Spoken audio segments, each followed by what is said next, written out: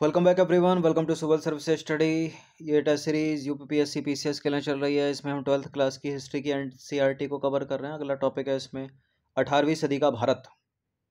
इस टॉपिक से जितने भी प्रश्न बनते हैं, उनको बनाएँगे। ये सीरीज़ इंपॉर्टेंट है उन लोगों के लिए जो एन टी की किताबों को नहीं पढ़ते हैं।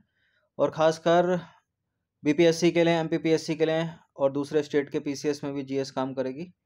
यू सिविल सेवा तक। बाकी इस टेस्ट सीरीज़ की प्लेलिस्ट बना रखी है, वहाँ पर आप टेस्ट नंबर वन से लेकर जितने भी नए टेस्ट आएँगे, वहाँ तक आप पहुँच सकते हो। पहला प्रश्न यहाँ पर, सिखों के संदर्भ में निम्नलिखित कथनों पर विचार करेंगे। सिख धर्म की शुरुआत गुरु नानक ने की थी। सिखों को लड़ाकू समुदाय के रूप में बदलने का काम गुरु हरगोबिंद ने शुरू किया। अपने आखिरी गुरु गुरु गोविंद सिंह के नेतृत्व में सिख एक राजनीतिक और फौजी ताकत बने। सिखों के कितने गुरु? दस गुरु, दस के दस इंपॉर्टेंट हैं। सबसे ज़्यादा जो प्रश्न बने, वो पहले से बने पाँच में से बने, नवे से बने दस में से बने। तो सिख धर्म की शुरुआत गुरु नानक ने की। हरगोबिंद ने सिखों को लड़ाकू समुदाय के रूप में बदलने का काम शुरू किया। और आखिरी गुरु गुरु गोविंद सिंह, दसवें गुरु के नेतृत्व में सिख एक राजनीतिक और फौजी शक्ति बने। तो सारे के सारे करेक्ट डी है इसका आंसर वन टू थ्री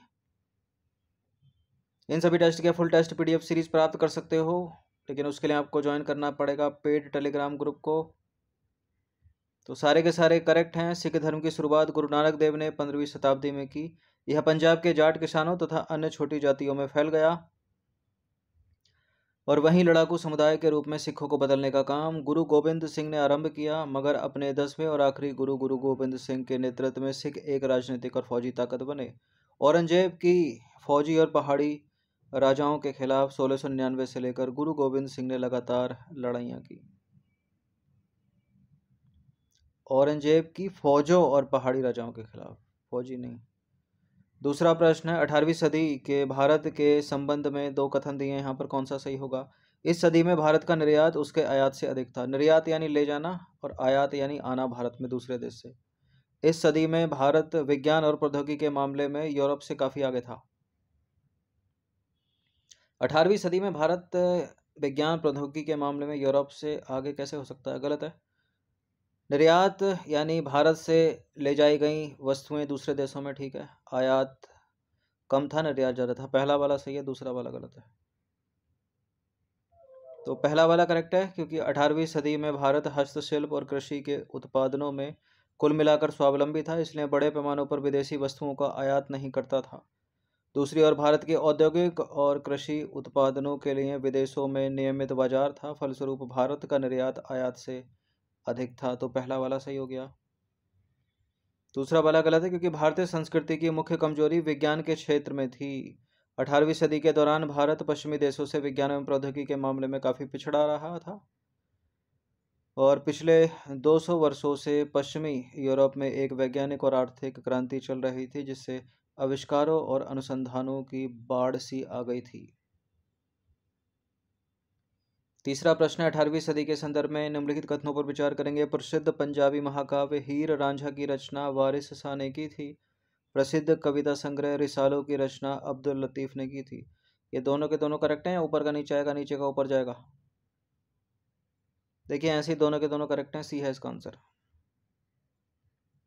तो अठारहवीं सदी में मशहूर पंजाबी महाकाव्य हीर रांझा की रचना वारिस शाह द्वारा की गई और इसी सदी के दौरान अब्दुल, शाह अब्दुल लतीफ़ ने अपना प्रसिद्ध कविता संग्रह, रिसालो रचा। हिंदी साहित्य के लिए ये सदी विशाल उपलब्धियों की अवधि थी। सचल और सीमा इस शताब्दी के अन्य महान सिंधी कवि थे। सचल और सामी, ठीक है? सचल और सामी अन्य महान सिंधी कवि थे।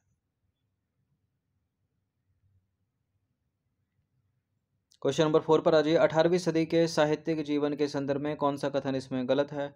केरल के महान कवि कुंचन नंबियार इसी समय हुए और इस सदी में उर्दू भाषा का प्रसार और उर्दू कविता का जोरदार विकास हुआ। तमिल में सितर काव्य की शुरुआत इसी सदी में हुई। केरल के महान गीतकार दयाराम ने भी इसी सदी में अपनी रचनाएँ लिखी। देखिए, जो दयाराम थे, वो गुजरात के महान गीतकार थे। तो गलत है यहाँ पर डी वाला स्टेटमेंट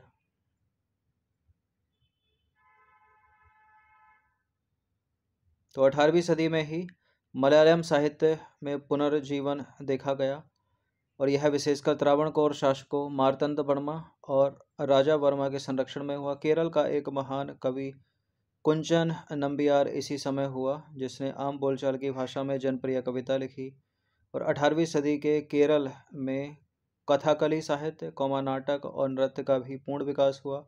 इसी सदी के साहित्यिक जीवन का उल्लेखनीय पहलू था उर्दू भाषा का प्रसार और उर्दू कविता का जोरदार विकास। तायुमानवर, तमिल में सित्तर काव्य का एक उत्कृष्ट प्रवर्तक था, अतः तमिल में सित्तर काव्य की शुरुआत इसी सदी में हुई। तो पहला हो गया, दूसरा हो गया, तीसरा भी सही हो गया, चौथा गलत है क्योंकि इस सदी के महान कवियों में एक दयाराम ने इस सदी के उत्तरार्ध में अपनी रचनाएँ लिखी। ये गुजरात के थे, न कि केरल के। क्वेश्चन नंबर फाइव पर आ जाइए अठारहवीं सदी में महिलाओं की सामाजिक दशा से रिलेटेड कौन सा गलत है इसमें? बाल विवाह का प्रचलन सामान्यतः पूरे देश में था और सती प्रथा सामान्यतः दक्षिण भारत में प्रचलित नहीं थी। पूरी सदी में लड़कियों की शिक्षा पर विशेष रूप से ध्यान दिया गया। और इस समय भारत की दो बड़ी सामाजिक कुरीतियाँ थीं, सती प्रथा और विधवा, विधवाओं की खराब अवस्था। पूरी सदी में लड़कियों की शिक्षा पर विशेष रूप से ध्यान दिया गया तो हो ही नहीं सकता। ठीक है, ये तो गलत है, यही आंसर है। क्योंकि बाल विवाह का प्रचलन सामान्यतः पूरे देश में था, सती प्रथा सामान्यतः दक्षिण भारत में प्रचलित नहीं थी, ठीक है, उत्तर भारत में थी। दो बड़ी सामाजिक कुरूतियाँ थी, विधवाओं की खराब अवस्था और सती प्रथा। तो दूसरा गलत है।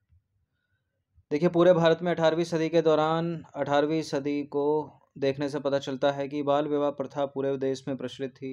लड़कियों की शिक्षा पर ध्यान नहीं दिया गया, गलत है दूसरा वाला स्टेटमेंट लड़कियों को बिरले ही शिक्षा मिल पाती थी और उच्च जातियों की कुछ महिलाएँ पढ़ी लिखी थी, जिसे एक अपवाद भी कहा जा सकता है। जाति प्रथा के अतिरिक्त अठारहवीं सदी के भारत की दो बड़ी सामाजिक कुरीतियाँ, विधवाओं की खराब स्थिति और सती प्रथा। सती प्रथा का अधिकतर राजपूताना, बंगाल तथा उत्तरी भारत के अन्य हिस्सों में प्रचलन था। दक्षिण भारत में इसका प्रचलन नहीं था तो वाला भी स्टेटमेंट सही है, ठीक है। मराठों ने इसे बढ़ावा नहीं दिया सती प्रथा को क्वेश्चन नंबर सिक्स पर आ जाइए। निम्नलिखित में से सरंजामी प्रथा किससे संबंधित है? सरंजामी प्रथा सरंजामी प्रथा है मराठा भू राजस्व से। बी है इसका आंसर तो मराठा काल में सरंजामी प्रथा भू राजस्व से संबंधित थी। इस काल में मराठा जागीरदारों को सरंजामी भूमि उनके निर्वहन के लिए दी जाती थी इंपॉर्टेंट याद रखिएगा। मराठा राजस्व व्यवस्था के संदर्भ में दो कथन है यहाँ पर। चौथ जो है, मराठा आक्रमणों से बचने के बदले में वसूला जाने वाला शुल्क था। और सरदेश मुखी मुख्यतः मराठा शासित राज्यों से वसूला जाने वाला भू राजस्व था। कौन सा सही है इसमें? चौथ मराठा आक्रमणों से बचने के बदले में वसूला जाने वाला शुल्क था, ठीक है? और ये सरदेश मुखी जो है, वो ये इस चौथ के ऊपर ही एडिशनल था। तो गलत है, दूसरा वाला स्टेटमेंट केवल पहला वाला सही है। तो सामान्यतः चौथ जो है, वो मुगल सत्ता के प्रति निष्ठा रखने वाले राज्यों से मराठा आक्रमण न करने के बदले वसूला जाने वाला कर था, इसकी मात्रा आय का एक चौथाई थी। और सरदेश मुखी चौथ पर लगने वाला एडिशनल टैक्स था, इसकी मात्रा एक बटे दस थी। और इन करों को शिवाजी द्वारा शुरू किया गया था। ये नाम याद रखिएगा, चौथ सरदेश मुख को किसने शुरू किया? ए बी सी डी चार विकल्प बनाकर पूछेगा शिवाजी ने। क्वेश्चन नंबर आठ पर आ जाइए। निम्नलिखित में से कौन सा सही सुमेलित है? प्रथम आंग्ल मराठा युद्ध, द्वितीय आंग्ल मराठा युद्ध। प्रथम आंग्ल मराठा युद्ध समाप्त हो गया सालवाई की संधि के द्वारा और द्वितीय आंग्ल मराठा युद्ध समाप्त हो गया देवगांव की संधि के द्वारा। गलत है दोनों के दोनों? डी है इसका आंसर तो प्रथम आंग्ल मराठा युद्ध सत्रह सौ बयासी में सालवाई की संधि के द्वारा समाप्त हुआ। देवगांव की संधि के द्वारा द्वितीय आंग्ल मराठा युद्ध 1803 से 1805 में समाप्त हो गया। ठीक है, आंग्ल का मतलब है अंग्रेज़ों और मराठों के बीच युद्ध। तृतीय आंग्ल मराठा युद्ध का समय 1816 सौ 1816 से 1819 के बाद अंग्रेज़ों द्वारा पेशवा का वंशानुगत पद जो है समाप्त कर दिया गया और प्रथम युद्ध में अंग्रेज़ पराजित हुए। जबकि अन्य दो युद्धों में मराठों की हार हुई। ठीक है तो तीन आंग्ल मराठा युद्ध हुए, अंग्रेज़ों और मराठों के बीच में युद्ध हुआ। पहले वाले में अंग्रेज़ हार गए और दूसरे तीसरे में अंग्रेज़ जीत गए। पानीपत की तीसरी लड़ाई के परिणाम स्वरूप निम्नलिखित में से कौन सी घटनाएँ घटी? मराठों की राजनीतिक प्रतिष्ठा को बड़ा धक्का लगा। अंग्रेज़ी ईस्ट इंडिया कंपनी को बंगाल और दक्षिण भारत में अपनी सत्ता मज़बूत करने का अवसर मिला। अफगानों का पंजाब में पूर्णतः अधिकार हो गया। Third battle of Panipat. पहला सही है, दूसरा सही है, तीसरा गलत है। अफगानों का पंजाब में पूर्णतः अधिकार नहीं हुआ। तो सत्रह सौ इकसठ में हुई थी पानीपत की तीसरी लड़ाई। ठीक है, यही इंपॉर्टेंट है अपने आप में।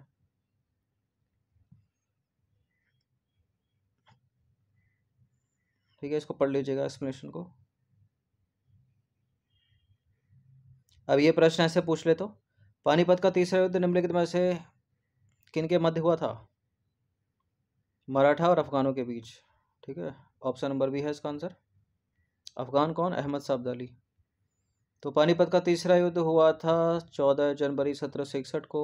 मराठों और अफगान शासक अहमद साहब साबदाली के बीच कौन जीता? मराठे जीत गए। सॉरी, मराठे हार गए, अफगान जीत गए। क्वेश्चन नंबर ग्यारह पर आ जाइए। निम्नलिखित कथनों पर विचार करेंगे। तीन कथन यहाँ पर कौन सा इसमें सही होगा? बाजीराव प्रथम को शिवाजी के बाद गुरुल्ला युद्ध का सबसे बड़ा प्रतिपादक कहा गया। बाजीराव प्रथम के समय दक्कन के प्रांत भी चौथ और सरदेश मुखी कर मराठों को देते थे। बाजीराव प्रथम ने पुर्तगालियों के पश्चिमी तट के इलाकों को भी अपने कब्जे में कर लिया था। पहला सही है, दूसरा सही है, तीसरा वाला गलत है। क्योंकि पश्चिमी तट के इलाके जो हैं, वो पुर्तगालियों के पास ही रहे थे। तीसरा वाला सही नहीं है। तो पहला वाला करेक्ट है। दूसरा वाला भी करेक्ट है। तीसरा वाला इनकरेक्ट है क्योंकि बाजीराव के पुर्तगालियों के खिलाफ भी अभियान आरंभ किया। बाजीराव ने पुर्तगालियों के खिलाफ भी आरंभ, अभियान जो है आरंभ किया। अंत में सिलहट और बसई पर कब्जा कर लिया गया, मगर पश्चिमी तट पर पुर्तगालियों का अपने इलाकों पर कब्जा बना रहा। तो तीसरा वाला गलत है। क्वेश्चन नंबर बारह पर आ जाइए। औरंगज़ेब का मकबरा निम्नलिखित में से कहाँ स्थित है? महाराष्ट्र में है, यानी खुलदाबाद। तो औरंगज़ेब का मकबरा है खुलदाबाद में, यानी महाराष्ट्र में। एतमादौला का मकबरा आगरा में, शेख सलीम चिश्ती का मकबरा फतेहपुर सीकरी, अब्दुल रहीम खान खाना का मकबरा है दिल्ली। ये मैच वैच करने के लिए पूछता है इंपॉर्टेंट है। रणजीत सिंह के संदर्भ में निम्नलिखित में से कौन सा कथन गलत है, यानी इनकरेक्ट स्टेटमेंट कौन सा होगा इन तीन में से? अगर कोई इनकरेक्ट नहीं होगा तो आंसर डी देंगे, क्योंकि सारे के सारे सही होंगे फ्री है। रणजीत सिंह धर्म के मामले में सहनशील और उदारवादी थे। वे सिखों के साथ मुसलमान संतों को भी आदर सम्मान और संरक्षण देते थे। रणजीत सिंह द्वारा शासित पंजाब एक सिख राज्य था। रणजीत सिंह द्वारा शासित पंजाब एक सिख राज्य नहीं था। गलत है यहाँ पर सी वाला स्टेटमेंट ये पहला सही है, दूसरा सही है। तो इनकरेक्ट कौन सा हो गया? सी वाला। देखिए, रणजीत सिंह धर्म के मामले में सहनशील और उदारवादी थे। वे न केवल सिख बल्कि मुसलमान संतों को भी आदर, सम्मान और संरक्षण देते थे। धर्मपरायण सिख होते हुए भी यह कहा जाता है कि वे अपने सिंहासन से उतरकर मुसलमान फकीरों के पैर की धूल जो है अपनी लंबी सफ़ेद दाढ़ी से झाड़ते थे। वस्तुतः किसी भी दृष्टि से रणजीत सिंह द्वारा शासित पंजाब एक सिख राज्य नहीं था तो गलत है चौथा वाला मतलब सी वाला। देखिए, जब अठारह सौ नौ में अंग्रेज़ों ने रणजीत सिंह को सतलज नदी पार करने से मना कर दिया और नदी के पूरब के सिख राज्यों को अपने संरक्षण में ले लिया, तब उन्होंने चुप्पी साध ली, क्योंकि उन्हें महसूस किया उन्होंने महसूस किया कि उनके पास अंग्रेज़ों से मुकाबला करने की शक्ति नहीं है। इस प्रकार उन्होंने अपने राज्य को अंग्रेज़ों के अतिक्रमण से बचा लिया, मगर वह विदेशी खतरों को हटा नहीं सके तथा उस खतरे को अपने उत्तराधिकारियों के लिए छोड़ दिया। क्वेश्चन नंबर फोर्टीन पर आ जाइए महाराजा रणजीत सिंह के संदर्भ में एक और सवाल है। यहाँ पर तीन कथन है। कौन सा सही होगा इसमें? इन्होंने सतलज नदी के पश्चिम के सभी सिख प्रधानों को अपने अधीन कर पंजाब में अपना राज्य कायम किया। इन्होंने जीते हुए क्षेत्रों में मुगल भूराजस्व व्यवस्था के स्थान पर एक नई व्यवस्था आरंभ की। इनकी फौज में केवल सिख लोग ही शामिल थे, ये तो गलत है। ऊपर की एक्सप्लेनेशन से ही पढ़कर पता चल जाएगा। ये भी गलत है, कोई नई व्यवस्था शामिल नहीं की इन्होंने। हाँ पहला वाला सही है केवल। ये है इसका आंसर तो केवल पहला वाला कथन सत्य है, दूसरा वाला असत्य है और तीसरा वाला भी असत्य है। इनको पढ़ सकते हो आप एक्सप्लेनेशन से बहुत बड़ी हो जाएगी वरना। चलिए क्वेश्चन नंबर पंद्रह पर आ जाइए। औरंगज़ेब की मृत्यु के बाद मुगल शासकों के गद्दी पर बैठने का सही कालानुक्रम कौन सा है? औरंगज़ेब मर गया, उसके बाद बहादुर शाह प्रथम, उसके बाद आ जाइए जहांदार शाह, उसके बाद फरुख सियार, फिर शाह आलम द्वितीय। ए है इसका आंसर तो औरंगज़ेब की मृत्यु के बाद उसके तीनों बेटों के बीच गद्दी के लिए संघर्ष हुआ, जिसमें पैंसठ वर्षीय बहादुर शाह विजयी रहा। उसने 1707 से 1712 की अवधि तक शासन किया। बहादुर शाह की मृत्यु के बाद उसके बेटे जहांदार शाह ने तत्कालीन शक्तिशाली अमीर जुल्फ़िकार खां की सहायता से गद्दी प्राप्त की। यह नितांत अयोग्य शासक था। लोग उसे लंपट मूर्ख कहते थे। तो लंपट मूर्ख कौन है? जहांदार शाह भी पूछ लेता है। कौन लंपट मूर्ख है? कौन घृणित कायर है? कौन रंगीला बादशाह है? जहांदार शाह को परास्त करके उसका भतीजा फरुख सियार गद्दी पर बैठा। सैयद बंधुओं ने फरुख सियार की सत्ता पाने में सहायता की थी और बाद में उन्होंने उसकी हत्या कर दी। अठारह वर्षीय मोहम्मद शाह को गद्दी पर बैठा दिया और भारतीय इतिहास में सैयद बंधुओं को राजा बनाने वाले के नाम से जाना जाता है। शाह आलम द्वितीय, सेवनटीन फिफ्टी नाइन में गद्दी पर बैठा था। क्वेश्चन नंबर सिक्सटीन पर आइए सूची एक को सूची दो के साथ सुमिलित कीजिए। नीचे देखे कूट का प्रयोग करके सही उत्तर का चुनाव कीजिए। सूची एक में क्षेत्र, और उनके शासक त्रावणकोर राज्य आमेर, जाट राज्य रुहेलखंड। बताइए, राजा मारतंड वर्मा से कौन मिलेगा? जय सिंह से कौन मिलेगा? सूरजमल से कौन? अली मोहम्मद खान से कौन? त्रावण को राज, राजा मारतंड वर्मा, आमेर, जयसिंह, जाट, राज सूरजमल, रुहेलखंड अली वर्दी खान तो ये तो वन टू थ्री फोर हो गया, ये है इसका आंसर तो वन टू थ्री फोर ये एक्सप्लेनेशन है, इसको पढ़नी है आपको।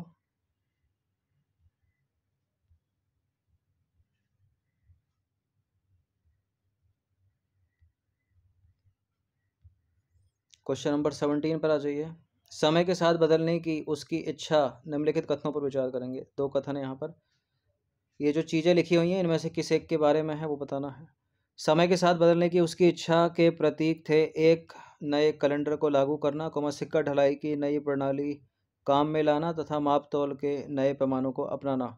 उसकी एक अत्यंत प्रिय उक्ति थी कि एक शेर की तरह एक दिन जीना बेहतर है, लेकिन भेड़ की तरह ज़िंदगी जीना अच्छा नहीं है। उपरोक्त कथन निम्नलिखित में से किस शासक से संबंधित है? बताइए, कौन है ये? टीपू सुल्तान है अलीवर्दी खां है, हैदर अली है या सादत खां है? इससे पहचाना जा सकता है। कई बार एग्ज़ाम्स में पूछी गई ये लाइन, एक शेर की तरह एक दिन जीने से बेहतर है। एक शेर की तरह एक दिन जीना बेहतर है।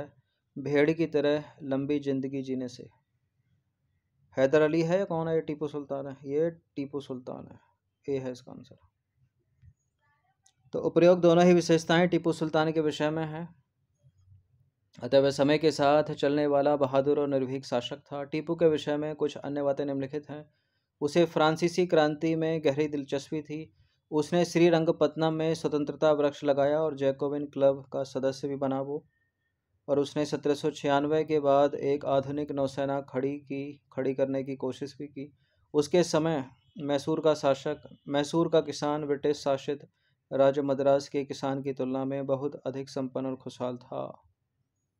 और अंतिम आंग्ल मैसूर युद्ध जो हुआ था सत्रह सौ निन्यानवे में, वह श्रीरंगपत्तनम के द्वारा, द्वार पर लड़ता हुआ मारा गया।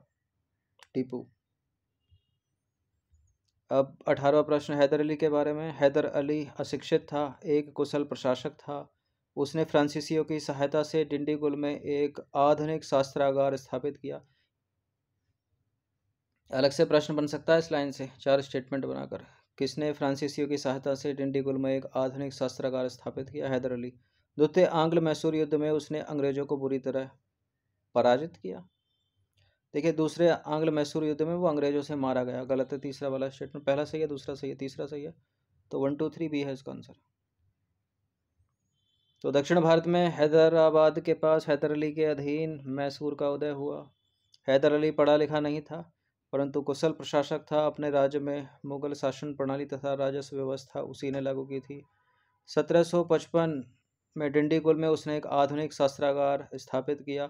इसमें उसने फ्रांसीसी विशेषज्ञों की मदद ली। उसने 1769 में अंग्रेज़ी फौजों को बार बार हराया और मद्रास के पास तक पहुँच गया। परंतु द्वितीय आंग्ल मैसूर युद्ध के दौरान सत्रह सौ बयासी में वो मारा गया। उसके स्थान पर उसका बेटा टीपू गद्दी पर बैठा।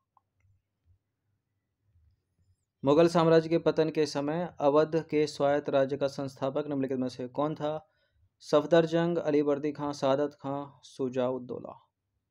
मुगल साम्राज्य के पतन के समय, अवध के स्वायत्त राज्य का संस्थापक सादत खां ऑप्शन नंबर सी देखिए, मुगल साम्राज्य के पतन के समय, अवध के स्वायत्त राज्य का संस्थापक सादत खां, बुरहान उन मुल्क था, ये पूरा नाम है। इसके बाद उसकी जगह उसके भतीजे सफदर जंग ने ली और सफदर जंग के बाद सुजाउद्दौलावद का नवाब बना और अली वर्दी खां बंगाल का नवाब था। बीसवा प्रश्न है मुगल कालीन तकावी ऋण के संदर्भ में निम्नलिखित में से कौन सा कथन सही है? तकावी ऋण मुगल काल का क्या है? खेती के विस्तार बेहतरी के लिए राज्य की ओर से दिया जाना दिया जाता था। व्यापार को बढ़ावा देने से संबंधित है, सेना के सुदृढ़ीकरण से संबंधित है, या युद्ध की स्थिति में राज्य द्वारा साहूकारों से लिया गया ऋण था, क्या था तकावी? तकावी व्यापार से संबंधित नहीं है, सेना के सुदृढ़ीकरण से संबंधित नहीं है, युद्ध की स्थिति से संबंधित नहीं है। तकावी है, खेती के विस्तार एवं बेहतरी के लिए राज्य की ओर से दिया जाता था तकावी ऋण। तो ए है इसका आंसर। तो तकावी ऋण मुख्य रूप से मुगल काल में खेती के विस्तार और बेहतरी के लिए राज्य की ओर से दिया जाने वाला ऋण है। इसमें गरीब खेतीहरों को अकाल, कोमा सूखे व बाढ़ जैसी विपरीत परिस्थितियों से उबरने में सहायता मिलती थी। साथ ही यह उन्हें समय पर भू राजस्व देने के लिए समर्थ बनाने का राज्य का एक प्रयास भी था। क्वेश्चन नंबर ट्वेंटी वन पर आ जाइए। बंगाल के नवाबों का सही कालानुक्रम निम्नलिखित में से कौन सा है? सबसे पहले तो मुर्शीद कुली खां ही आएगा। अली वर्दी खां मुर्शीद कुली खां के बाद का है, लेकिन इनके बीच में सुजाउद्दीन है। तो सबसे पहला आ गया मुर्शीद कुली खां। जहाँ जहाँ मुर्शीद कुली खां से शुरुआत नहीं होती, हटा दीजिए, उसके बाद सुजाउद्दीन, तीसरा है अली वर्दी खां, और इनके बाद आ जाएगा सिराजुद्दौला, ऑप्शन नंबर बी है इसका आंसर। तो मुर्शीद कुली खां को 1717 में बंगाल का सूबेदार बनाया गया, मगर वह उसका वास्तविक संस्थापक 1700 से ही था। 1727 में मुर्शीद कुली खां की मृत्यु के बाद उसके दामाद सुजाउद्दीन ने बंगाल पर सत्रह सौ उनतालीस में शासन किया, सत्रह सौ उनतालीस तक शासन किया, और उसकी जगह पर उसका बेटा सरफराज खां आया, जिसे उसी साल गद्दी से हटाकर अली वर्दी खां नवाब बन गया। सिराजुद्दौला अली वर्दी खां का उत्तराधिकारी था। तो सबसे पहले मुर्शीद कुली खां, सुजाउद्दीन अली वर्दी खां, फिर उसके बाद सिराजुद्दौला। हैदराबाद की स्थापना किसने की थी? हैदराबाद की स्थापना अली वर्दी खान ने नहीं की थी, मुर्शिद कुली खान ने नहीं की थी, हैदर अली ने की थी निज़ाम उल मुल्क निज़ाम उल मुल्क आसफ जहाँ ने की थी। आसफ जहाँ, ऑप्शन नंबर डी है इसका आंसर। तो निज़ाम उल मुल्क आसफ जहाँ ने 1724 में हैदराबाद राज्य की स्थापना की, उसको दक्कन के वायसराय का खिताब प्राप्त हुआ था। उसको किसको? निजामुल मुल्क, आसफ जहाँ को। तेईसवा प्रश्न है, निम्नलिखित में से कौन मुगल साम्राज्य का अंतिम बादशाह था? तो बहादुर शाह जफ़र या बहादुर शाह दुत्ते? ऑप्शन नंबर बी है इसका आंसर। बहादुर शाह दुत्ते या जफ़र? अंतिम मुगल सम्राट था। इसके पिता का नाम था अकबर शाह दुत्य समय भी देख लीजिएगा। निम्नलिखित में से कौन सा कथन गलत है? अहमद शाह अब्दाली, नादिर शाह के सबसे काबिल सेनापतियों में से एक था। उसने सत्रह सौ इकसठ में मराठों को पानीपत की तीसरी लड़ाई में हराया और अब्दाली ने मुग़ल साम्राज्य में कई बार लूटपाट की। उपरोक्त में से कोई नहीं। मतलब कोई कौन सा इनकरेक्ट पूछ रहा है ये? अगर ये तीनों सही होंगे तो आंसर डी होगा। बिल्कुल, ये तीनों सही हैं, इसलिए आंसर इसका डी है। तो अहमद शाह अब्दाली नादिर शाह के सबसे काबिल सेनापतियों में से एक था। उसने मुग़ल साम्राज्य में, खासकर दिल्ली, मथुरा में कई बार लूटपाट की। उसने अपने स्वामी के मरने के बाद अफ़गानिस्तान पर अपनी सत्ता कायम करने में सफलता प्राप्त कर ली थी। उसने सत्रह सौ इकसठ में मराठों को पानीपत की तीसरी लड़ाई में हराया। पानीपत की कितनी कितनी लड़ाइयाँ हुई? तीन लड़ाइयाँ। और इस हार से मराठों की इस महत्वाकांक्षा को बड़ा धक्का लगा कि वे मुग़ल बादशाह पर नियंत्रण रखेंगे और देश पर आधिपत्य कायम करेंगे। शाह आलम द्वितीय के संदर्भ में दो कथन है यहाँ पर। कौन सा सही होगा इसमें? देखिए, इसे अपने वज़ीर से जान का खतरा खतरा था, जिस कारण अपने शासन के आरंभिक वर्षों में यह राजधानी से दूर ही रहा। इसे बक्सर की लड़ाई के बाद कंपनी का पेंशन याफ्ता बनकर इलाहाबाद में रहना पड़ा। बिल्कुल, ये करेक्ट है, दोनों के दोनों स्टेटमेंट सी है इसका आंसर तो उपरोक्त दोनों के दोनों कथन सत्य हैं। ये एक्सप्लेनेशन को पढ़ सकते हैं आप। क्वेश्चन नंबर छब्बीस पर आ जाइए। नादिर शाह के आक्रमण के संदर्भ में निम्नलिखित में से कौन सा कथन गलत है? नादिर शाह, भारत के प्रति यहाँ के अपार धन के कारण आकर्षित हुआ था क्या? मुगल फौजों से उसका मुकाबला करनाल में हुआ था क्या? भारत में लूट से प्राप्त धन के कारण उसने अपने राज्य यानी ईरान में तीन सालों तक कोई कर नहीं लगाया था क्या? उसने शाहजहाँ के रत्न जड़ित मयूर सिंहासन यानी तख्ते ताउस को नष्ट कर दिया था क्या? और प्रसिद्ध कोहिनूर हीरा अपने साथ ले गया था क्या? देखिए, नादिर शाह ने जब दिल्ली पर आक्रमण किया तो दिल्ली का जो बादशाह था वो रंगीला था। ठीक है, शासन चलाना उससे आता नहीं था। हिजड़ों के साथ, महिलाओं के साथ नृत्य करता था, मदिरा का सेवन करता था। ठीक है? इन्हीं सब चीज़ों का फ़ायदा उठा गया नादिर शाह। मयूर सिंहासन उसने तोड़ा नहीं, तख्ते ताउस भी अपने साथ ले गया वो, कोहिनूर हीरा भी अपने साथ ले गया वो, और साथ ले गया अच्छी नस्ल के घोड़े भी। तो पहला सही है, दूसरा सही है, तीसरा भी सही है।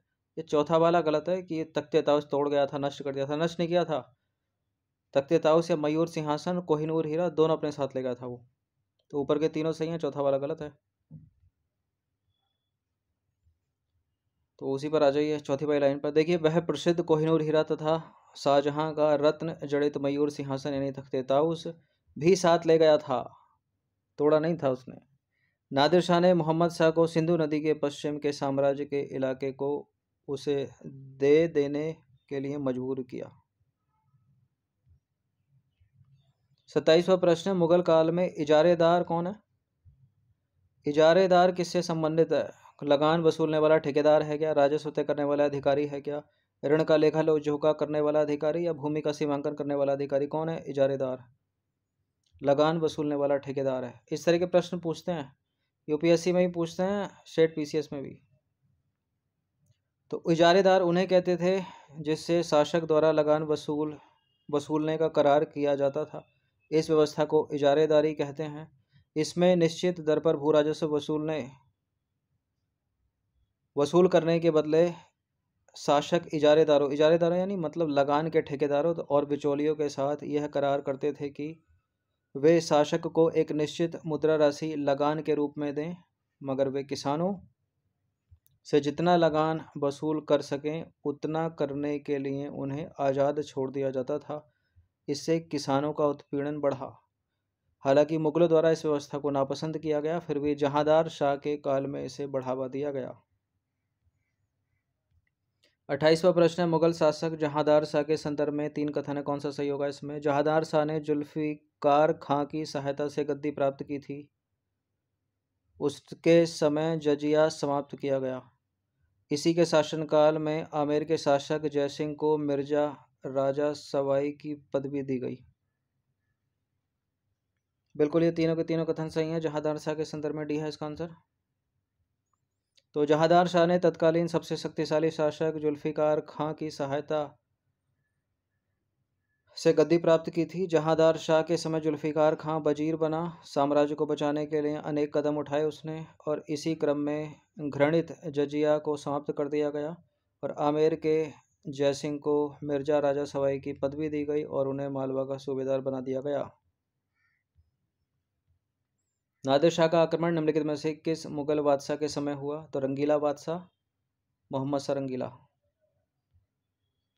देखिए, नादिर शाह का आक्रमण सत्रह सौ अड़तीस, उनतालीस में हुआ, मोहम्मद शाह के समय हुआ। और मोहम्मद शाह प्रशासन के प्रति उदासीन था, मदिरा और सुंदरी के प्रति अत्यधिक रुचि रखता था, जिस कारण लोग उसे रंगीला कहते थे, रंगीला बादशाह। उसके शासनकाल में हिजड़ों तथा महिलाओं के वर्ग का प्रभुत्व हो गया था।